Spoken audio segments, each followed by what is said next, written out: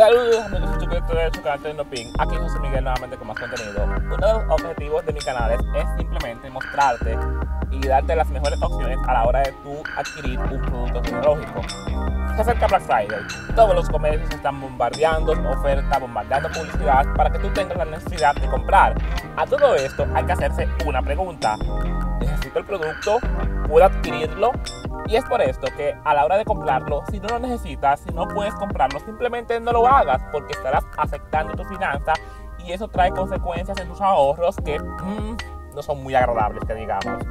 Eh, a todo esto, una frase que me marcó y que me ha ayudado a hacer compras inteligentes es una que dijo Alejandro Fernández en, su, en una declaración legendario, que cuando tú haces una decisión, haces una compra emocional, estás haciendo realidad el sueño del otro, mientras el tuyo se queda estancado por tus finanzas.